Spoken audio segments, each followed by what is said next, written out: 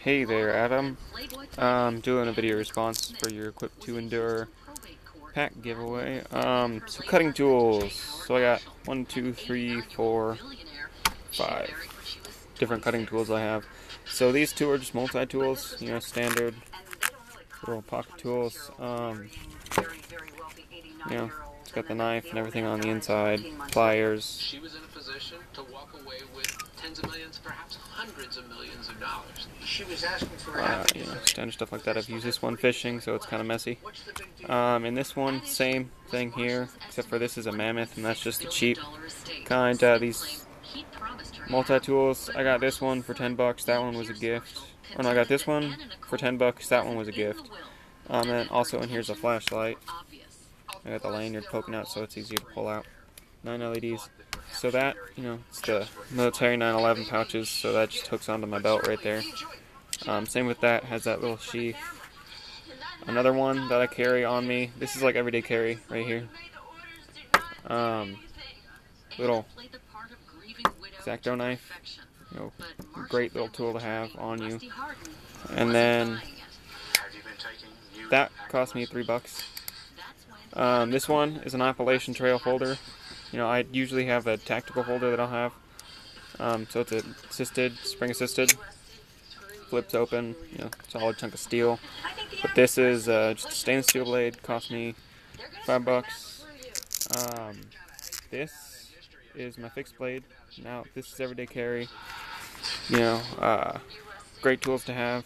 Fixed blade and survival. So this is the SCHF 10. Good solid chunk of stainless steel. It's a quarter inch thick. Cost me 40, 43 something. Um, you can find them for all the way up to 52. They're the good under 50. They're not going to go much over 50. Nice knife. Highly recommended. Um, it's made in China though. So, you know, if you're not a fan of that, it's not a knife for you. It is a quarter inch thick, so you have to be careful with some of your sharpeners. But it holds a nice edge. Great chopper. It's definitely got some weight. Feels great in my hands. Awesome knife.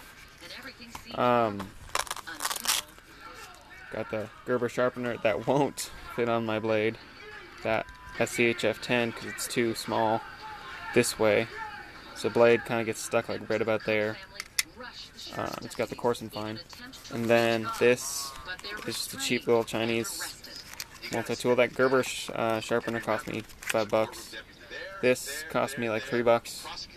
Um, it's good, good little multi-tool. Saw, can opener, knife edge, pry bar. You know, all sorts of cool tools. in Chinese. Um, they actually have the instructions on that one in Chinese. So it labels all these things, and on the back it tells you what they are with symbols. This is the other fixed blade that I have. Um, I have a good fire steel on there with some Ranger bands. That's the Buck 471T, I think. Um, yeah, Buck 471T.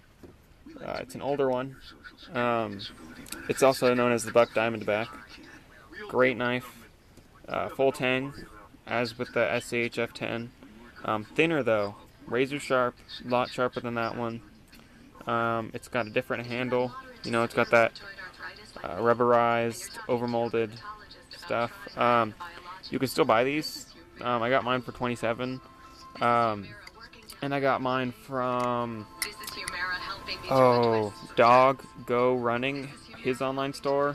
It's the cheapest one he has on there right now. Um, Got it for 27 on his store. It's 30. He gave me a little deal because I was doing overview of it, mentioning his store in my video that I did of this, and the review that I'm going to do once I finally um, do a whole lot more with it. I've cut some things. I've used it. I've carried this on me in person. It's not so big that it's going to scare a whole lot of people, but just not something you want to whip out in public.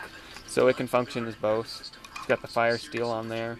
Now this one you can still buy, but it's going to come with a nylon sheath instead of this um, over this uh, plastic with the lanyard hole and everything. Friction lock. I like this one better though. Um, it's got the drain hole slash lanyard hole, and it's got the another lanyard, and it's got the Velcro back here, so I can just stick it through my belt. I don't have to take my belt off.